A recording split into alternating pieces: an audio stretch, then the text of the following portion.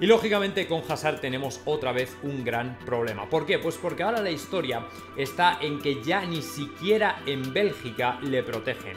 Si pincháis en el artículo, si vais a mi Twitter y pincháis en el artículo, veréis que HLN, que es el medio más importante de Bélgica, decía que se merece silencio, que el hecho de que empiece en el banquillo ya no es ni siquiera ni debería ser noticia, que no es normal que tú veas a un Luka Modric con casi 37 años petándolo con una ambición como si fuera el primer día y que veas por el contrario a un Hazard que ya le dan un penalti y falla. O sea, es como decir, pero bueno, ya, mira, ya más no podemos hacer por ti. lógicamente esto ya está resonando y decían, por ejemplo, aquí, cito textualmente, Hazard en realidad se merece silencio.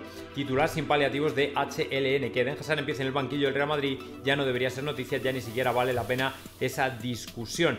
Eh, es más, incitan a que es el momento de hacer frente a la realidad. Pobre Den, no deberíamos hablar en voz alta sobre Modric quizá.